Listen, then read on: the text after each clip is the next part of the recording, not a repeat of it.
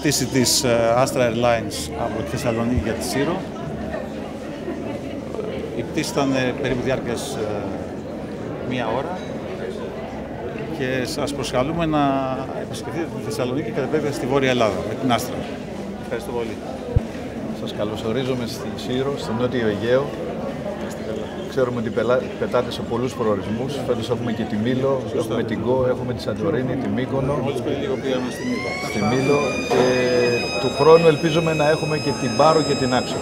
Είμαστε σίγουροι ούτως ώστε η Βόρεια Ελλάδα να συνδεθεί πολύ στενά με το Νότιο Αιγαίο, μια περιοχή κατεξοχήν τουριστική και σας ευχαριστούμε πάρα πολύ και να μεταφέρετε αυτές τις ευχαριστίες μας και στο φίλο το Γιάννη του Λατάνη και σε όλα τα στελέχη της εταιρείας. Το Νότιο Αιγαίο θα στηρίξει την εταιρεία και πιστεύουμε ότι το ίδιο κάνει και η εταιρεία στο Νότιο Αιγαίο. Σας ευχαριστούμε πολύ. Είναι μια μέρα πολύ σημαντική για τη Σύρο, για τις Κυκλάδες, γιατί εκτός από τη Σύρο η Άστρα θα πετάει φέτος και στη Μήλο, επομένως αθρίζοντας το γεγονός ότι πετάει ήδη στη Μύκονο, στη Σαντορίνη, στη Σύρο και στη Μήλο, ε, φαίνεται ότι η Βόρειος Ελλάδα έρχεται κοντά στις Κυκλάδες, κοντά στο Νότιο Αιγαίο, κάτι το οποίο ήταν στους στόχους μας. Από την πρώτη μέρα που αναλάβαμε την περιφέρεια, η ενίσχυση του τουριστικού ρεύματος από τη Βόρεια Ελλάδα προς το Νότιο Αιγαίο. Του χρόνου είναι βέβαιο 100% ότι θα πετάει και στην Πάρο και στην Άξο, οπότε πλέον ε, θα συνδέσουμε πλήρως το Νότιο Αιγαίο με τη Βόρεια Ελλάδα και νομίζω ότι είναι μια πολύ σημαντική τουριστική παρέμβαση που με προτεργάτη την περιφέρεια υλοποιείται. Είχαμε θέσει ως στόχο μας τη στήριξη του τουρισμού.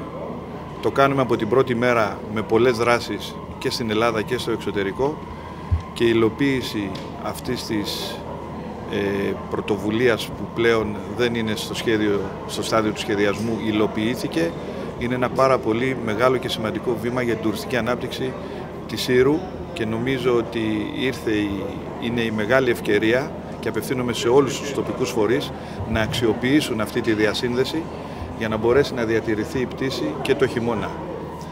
Δεν θα πρέπει να δούμε μόνο και να ερμηνεύσουμε αυτή τη διασύνδεση ότι γίνεται μεταξύ Κυκλάδων, Σύρου, αν θέλετε, και Βορρή Ελλάδος.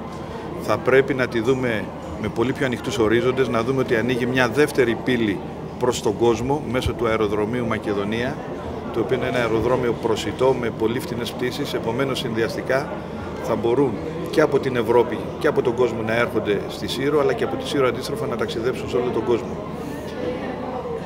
Είναι ένα όνειρο που έγινε πραγματικότητα. Δεν αρκεί αυτό από μόνο του για να αναβαθμίσει τουριστικά το νησί της Σύρου. Πρέπει να γίνουν και άλλα πράγματα και νομίζω ότι όλοι οι φορείς δείχνουν διάθεση να υλοποιήσουν πολιτικές προς, αυτό, προς αυτή την κατεύθυνση. Εμείς θα είμαστε πάντα δίπλα τους και πάντα θα ενισχύουμε οποιαδήποτε πρωτοβουλία έχει ως στόχο την τουριστική ανάπτυξη. Σας ευχαριστώ πολύ. Αυτό που θέλω να πω είναι ότι ο Αντιπεριφερειάρχης, ο κ. Λονταρίτης, έκανε την αρχή με την παρέμβαση αυτή και ξεκίνησε η σύνδεση της ε, Σύρου με την, ε, ε, μέσω της Άστρα με τη Θεσσαλονίκη, όπως έχει γίνει και για τη Μήλο. Για να μείνει όμως μια γραμμή, το επόμενο βήμα ανήκει κυρίως στους επιχειρηματίες που πρέπει να οργανώσουν τα πακέτα αυτά των επισκεπτών, αλλά και στον κάθε πολίτη που πρέπει να γνωστοποιήσει την ύπαρξη αυτής της γραμμής στου φίλους, στου επισκέπτες, τόσο από την πλευρά τη δική μας, ενώ από πλευράς κυκλάδων, όσο και από τη Βόρεια Ελλάδα. Εμείς, σαν επιμελητήριο, θα προωθήσουμε αυτή τη γραμμή σε συνεργασία με όλα τα επιμελητήρια της Βόρειας Ελλάδος και θα κάνουμε ό,τι μπορούμε για να πείσουμε κυρίως τους κατοίκους της Σύρου, αλλά και της Μήλου. Της Μήλου, βέβαια, είναι πιο ανεπτυγμένο το νησί τουριστικά, δεν έχει τέτοιο θέμα. Να πούμε λοιπόν ότι για να μείνει αυτή η γραμμή πρέπει να είναι συλλογική η προσπάθεια όλων. Να κάνω μια επισήμαση ότι το ίδιο έλεγε και το επιμελητήριο πέρυσι όταν ξεκίνησε η γραμμή σε άλλο μέσο επικοινωνίας όπως είναι το πλοίο, που μας συνέδεσε από τη Ραφίνα. Είχαμε επισημάνει ότι αν δεν υποστηριχτεί η γραμμή από επιχειρηματίες, δηλαδή αυτοκίνητα, φορτηγά ε, και από τους πολίτες, δεν θα κρατηθεί στην ε, λειτουργία της. Έτσι, φέτος βλέπουμε ότι δεν έχουμε σύνδεση από Ραφίνα γιατί η γραμμή δεν κρίθηκε βιώσιμη. Αυτό πρέπει να μας γίνει ένα μάθημα σαν επιχειρηματίες και σαν ε, ενδιαφερόμενοι για να αναπτυχθεί το νησί μας, να είμαστε λίγο πιο συλλογικά σκεπτόμενοι όταν έχουμε τέτοιες ενέργειες σε εξέλιξη. Ευχαριστώ πολύ.